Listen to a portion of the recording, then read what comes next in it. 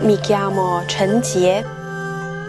Per eh, facilitare mi faccio chiamare Federica. I miei hanno un rosticceria cinese a Napoli. La specialità della, della nostra rosticceria sono i involtini di primavera e i ravioli a vapore.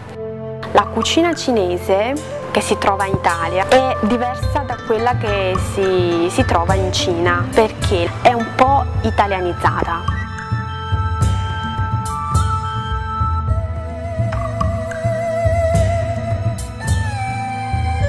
Io sono della seconda generazione, questa generazione mm, parla italiano, quindi eh, è più facile fare amicizia con gli italiani, è più facile farsi accettare.